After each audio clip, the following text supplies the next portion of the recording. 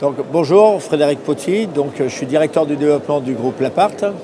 Donc, Lapart des clubs de remise en forme. Donc, euh, Lapart, club de remise en forme, euh, où on met avant tout l'humain, euh, en avant. Euh, la remise en forme, deux domaines d'activité, j'irais plutôt les, les, low cost, ou des beaux locaux, du beau matériel, mais pas d'accompagnement. Et nous, on est vraiment sur la partie premium, mass market, avec un accompagnement au quotidien euh, où on met en avant euh, l'humain. Alors l'appart, aujourd'hui, euh, le, premier, le premier club a ouvert l'appart en 2007. Notre premier franchisé en 2011. Aujourd'hui, le, premier franchisé a quatre clubs en propre. le, club, le, groupe Lapart, c'est 43 clubs. Donc on a 7 filiales, donc 7 clubs qui nous appartiennent et 36 franchisés. L'objectif du groupe, on aura 50 clubs d'ici le mois de décembre et l'objectif du groupe étant en 2020 d'avoir 200 clubs. Alors l'accompagnement des franchisés, donc ça, ça va me concerner directement. On est d'abord trois associés. Euh, Patrick Mazereau, le PDG, qui lui gère toute la stratégie du groupe. J'irai me mettre dans les meilleures conditions pour atteindre les 200 clubs d'objectifs en 2020. Sébastien Davray, qui est l'ancien directeur financier et qui est directeur général du groupe, qui lui gère plutôt les, finances du groupe.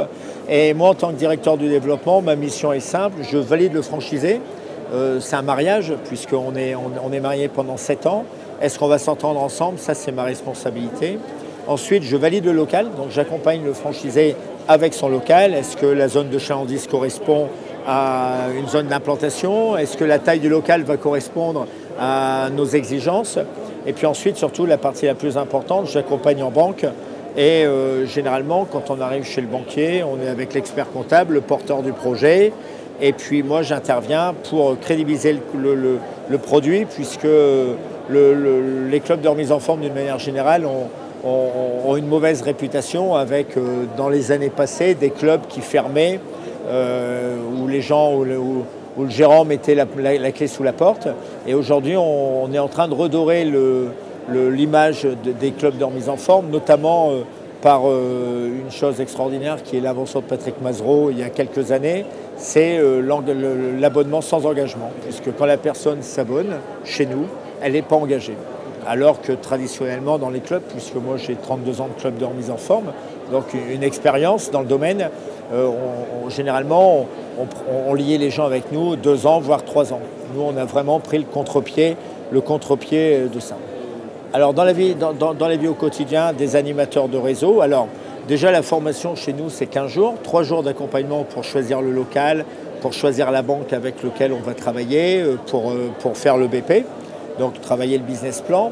Ensuite, euh, il y a 6 jours où le franchisé va venir dans nos clubs pour vivre la vie du club au quotidien et se former sur le logiciel ETS, qui est un logiciel important au niveau informatique. Et ensuite, 6 jours où quand le, club va ouvrir, on est 6 jours en accompagnement. L'avantage de, l'appart, c'est qu'on a sept clubs qui nous appartiennent. Donc les problèmes auxquels vont être confrontés les futurs franchisés, c'est des problèmes qu'on a déjà solutionnés euh, pendant euh, une dizaine d'années. Pour, euh, le, coût, donc on a trois, tarifs, je dirais. Pour, le club, pour un club qui ferait moins de 500 mètres carrés, on a un droit d'entrée à 25 000 euros.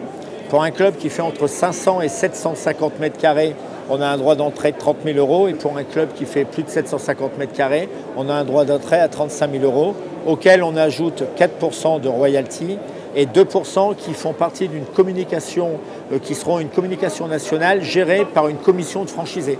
C'est-à-dire qu'aujourd'hui, rapidement, dès qu'on atteindra le, nombre de 80 clubs, on veut faire une communication nationale et euh, ce qui met tous les franchisés d'accord, c'est une communication nationale de, télé.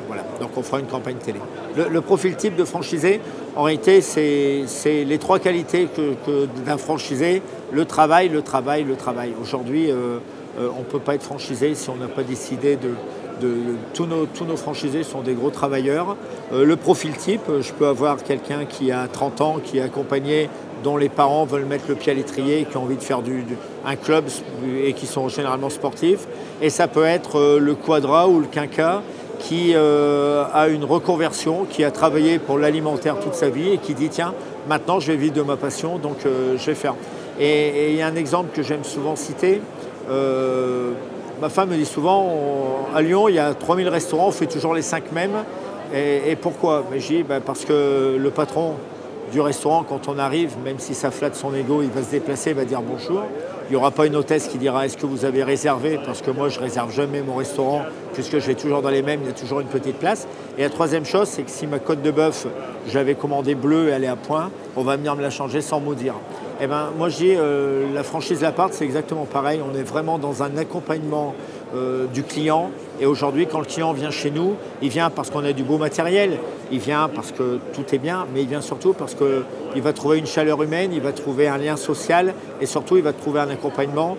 Si quelqu'un a mal au dos, ça devient notre problème. On n'est pas médecin, mais en tout cas, on va regarder comment on peut, faire pour régler euh, son problème ou du moins euh, éviter le mouvement qui lui, qui lui a occasionné des maux de dos.